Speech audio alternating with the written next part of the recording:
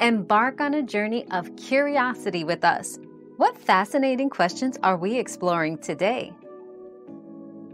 Yes, adults can benefit from using smaller sized bikes for city commuting. These bikes are often more maneuverable, making it easier to navigate through traffic and tight spaces. Additionally, smaller bikes tend to be lighter, enhancing portability when you need to carry them into buildings or public transportation. Ensure the bike is appropriately fitted to your body size to avoid discomfort or injury. We've quenched today's curiosity, but there's always more to learn. Keep the curiosity alive by subscribing and joining us for our next adventure.